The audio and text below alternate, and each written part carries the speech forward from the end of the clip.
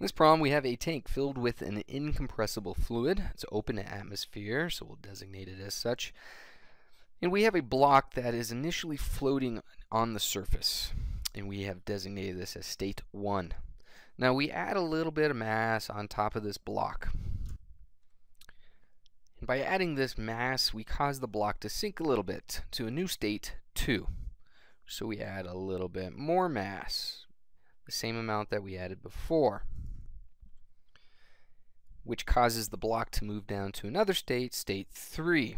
We do this another time, adding the same incremental amount of mass that we did before, which gives us a new state, state 4, in which the block is completely submerged underwater but still floating at the top. So the question is, if I add just a little bit more mass, the same amount of mass we've added every incremental step, but I do it one more time, so that we add just a little bit more mass. Where do we expect state 5 to be? Do we expect that state 5 will be in position A, in which the block sinks linearly as the other ones did? Do we think it will be block B, in which it hovers somewhere in the middle of this fluid? Or do we think it will be block C, in which it sinks to the bottom?